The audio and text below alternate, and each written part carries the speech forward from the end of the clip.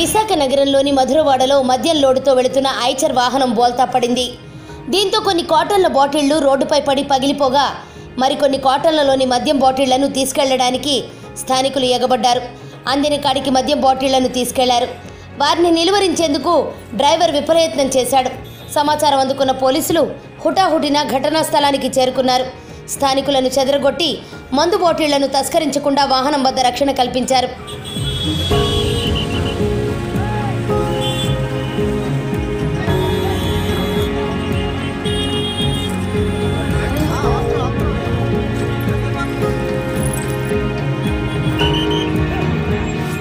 మధురవాడలోని కొమ్మది వద్ద శనివారం మధ్యాహ్నం ఈ ఘటన చోటు చేసుకుంది.